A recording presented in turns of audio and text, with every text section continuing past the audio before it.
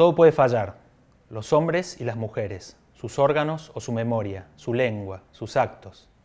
Pueden fallar los animales y sus sentidos, las máquinas y su repetición, las teorías sobre galaxias o planetas, las fuerzas, los sistemas, el antivirus, la puntería de los delanteros, la corazonada de los apostadores, el electricista que promete venir y nunca viene. Todo puede fallar si antes se ha generado alguna especie de expectativa.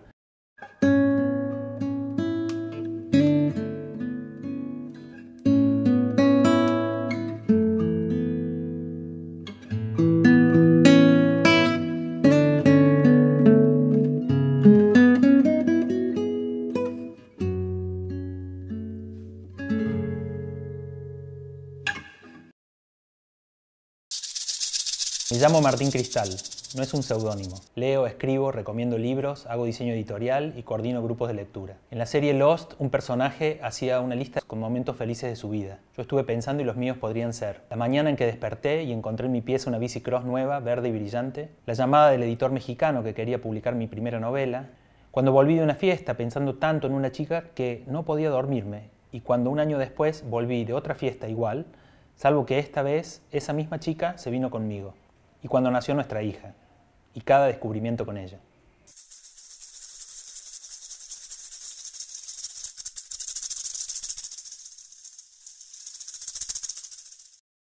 Leíste un fragmento de la novela Las Ostras que forma parte de un proyecto más grande que involucra a cuatro novelas, Sí. eh, una relacionada con un elemento diferente.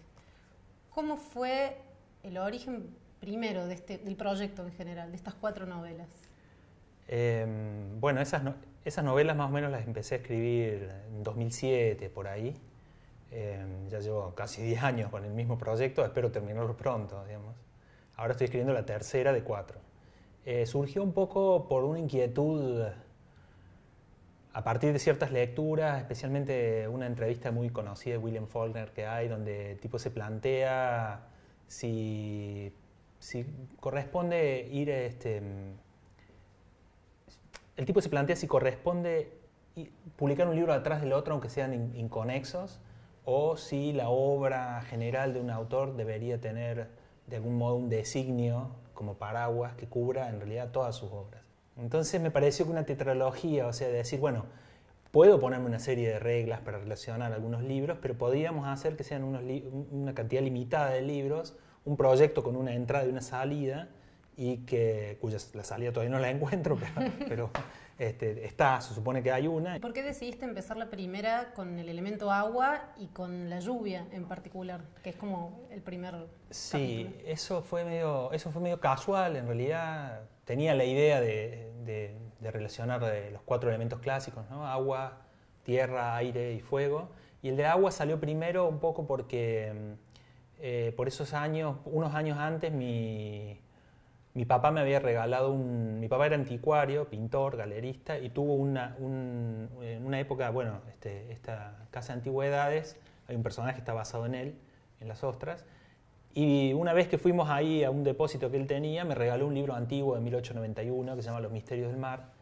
eh, que supuestamente una- es una obra de, de divulgación científica, o sea, no es, es un compilado de varios autores, no es una obra literaria, pero las descripciones son muy literarias. Y bueno, lo de la lluvia fue un poco como buscar una cohesión para, para la acción de, de esa novela que transcurre todo en un mismo día. La tercera, que todavía no apareció, que estaba a punto de aparecer, transcurre, por lo que has contado, en una fiesta, a lo largo de una noche de fiesta.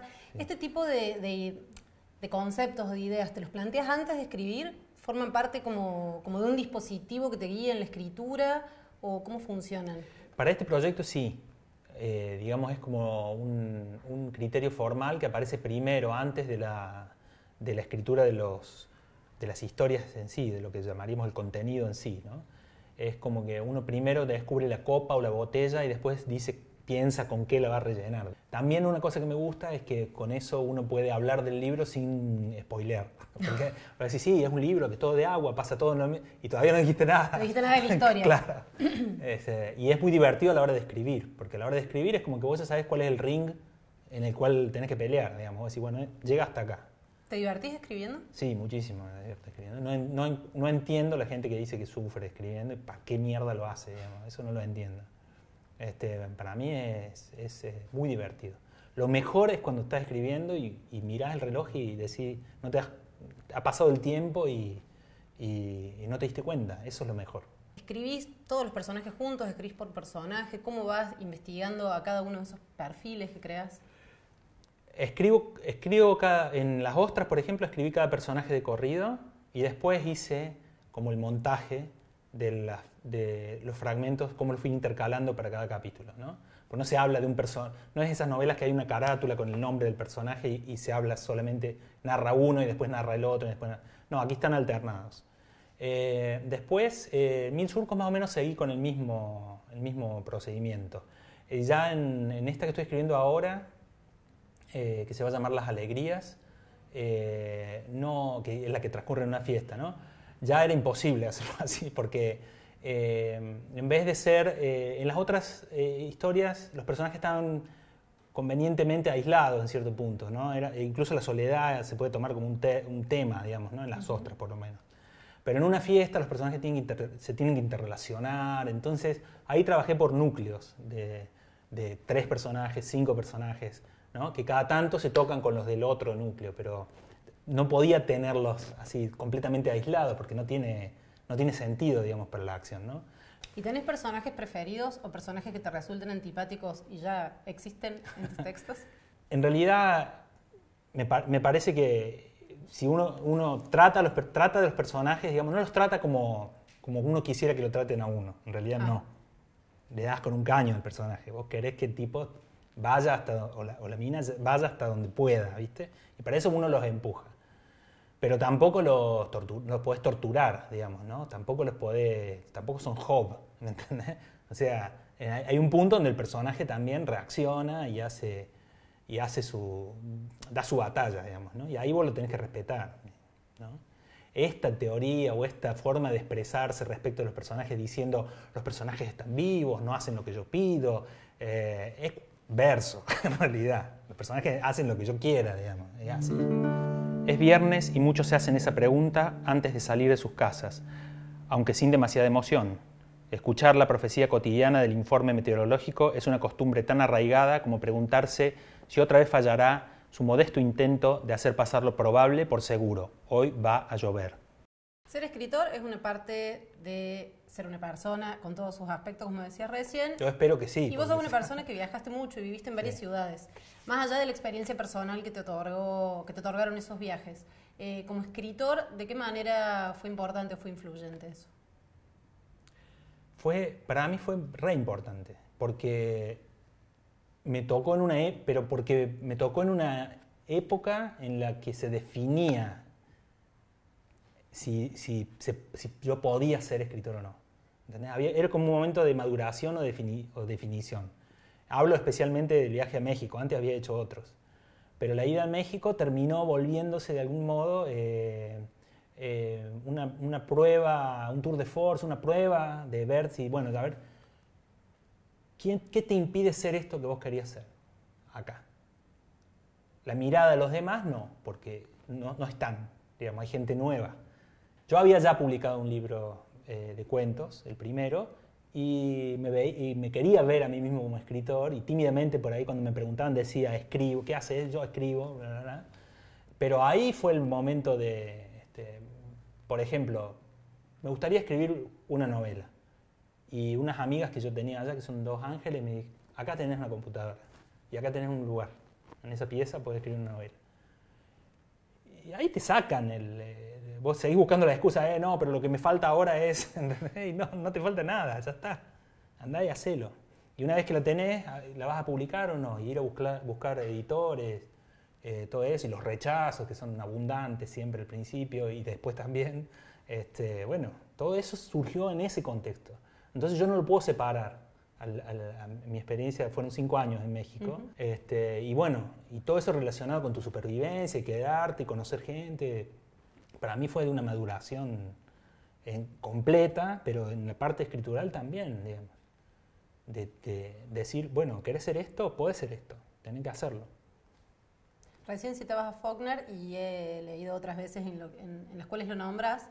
Sobre todo citas que él decía que había, que él dice que hay como tres elementos importantes en un escritor, que son la experiencia, la observación y la imaginación. Hoy, en tu trabajo como escritor actualmente, eh, ¿cuál de esas tres es más importante o las tres por igual? La imaginación es lo que un joven puede tener de entrada, me parece a mí. Después, la observación creo que se puede trabajar y en este sentido lo que me preguntas ahora cuál uso más, yo creo que la observación yo la he trabajado eh, más a conciencia, digamos, como quien hace ejercicio, ¿no? Y después la experiencia se va sumando, si uno quiere, sola, uno puede tener etapas de su vida donde acumula más, digamos, ¿no? Un poco el libro, el libro de crónicas habla un poco de eso, pero eh, los viajes por ahí te condensan un montón de experiencias también. Tengo una serie de cuentos, 10, 12 cuentos escritos en ese sentido, que no están publicados todavía, y son todos fantásticos, ciencia ficción. Este, ahí la, imaginación, digamos, sigue estando, es crucial, ¿no? En esa, beta de la imaginación. Yo no la quiero perder, no es que pienso esto ya no y ahora pasamos a esto. No, no, por eso la autoficción y eso, que también la practico en cierto punto en, en, La Voz del Interior, en la, sección Días Contados, pero con eso solo no me alcanza, digamos, yo quiero lo otro también. Así que es un poco de todo. En este momento yo estoy tratando que esas tres cosas estén en la mezcla. ¿Qué tiene que tener una historia para que vos elijas contarla? Me parece que tiene que tener algo que me concierna íntimamente, de algún modo, digamos, ¿no? Por supuesto, si se te ocurre una idea innovadora, no la vas a tirar al tacho porque no me concierne. si me ocurre una idea que me parece que está buena, eh, trataría de hacerla, digamos, ¿no? Pero es, es notable como, aunque uno tenga esas ideas, eh, siempre la idea requiere algo de uno que finalmente es importante que, uno busque que sea algo que lo concierne. En una época ingenuamente, cuando se tenía ideas para, algunos cuentos, por ejemplo, no realistas, los, anotaba, anotaba las ideas en un, Word. Y cuando tenía ideas para cosas realistas, las anotaba en otro Word. ¿Qué pasa? Vos tenés una idea para, voy a decir una boludez, que no es una buena idea, pero, pero ponele, vos tenés una idea para contar una historia de un tipo que vive su vida de, la, de la, tumba a la cuna, ¿no? de, atrás para adelante. Lo hicieron miles, ¿no? Ballard, Carpentier, pero bueno, supongamos que nadie lo hizo así. Eh, brillante. Brillante. Bueno, te sentas y necesitas la vida de un tipo. O sea, todavía no tenés nada, ¿entendés? Tenés una idea nada más, pero no tenés, no tenés nada, tenés, necesitas la vida de un tipo. Entonces tenés que abrir el otro ese donde vos pensabas que iba a ser solamente eh, el otro Word, digo, ¿no? Donde el Word realista. El Word realista, donde vos decís, bueno, ¿no? Este, finalmente todo tiene un anclaje, aunque sea la, historia más delirante, weird del mundo, todo tiene un anclaje en, en, en los Si hay personajes, hay deseos, si hay deseos, hay acciones, y finalmente todo eso va armando una, una serie de vectores que estructuran una, una historia. Este, yo, yo, soy digamos, fan de la ficción, pero me parece que uno, cuando uno escribe algo que lo toca como persona, uno se siente, siente hasta más cariño por el texto. Mantenimiento y permanencia, cambio y mudanza, expectativas. Hoy va a llover, hoy no va a llover, hoy todo puede fallar, hoy va a fallar, hoy puede lloverse todo, puede lloverse la vida, hoy va, hoy no va, en el fondo nadie sabe lo que va a pasar una vez que se largue, si es que se larga. Hacia adelante las cosas se saben solo hasta cierto punto. Todo pronóstico tiene un límite. Llueva o no llueva, el futuro es siempre niebla.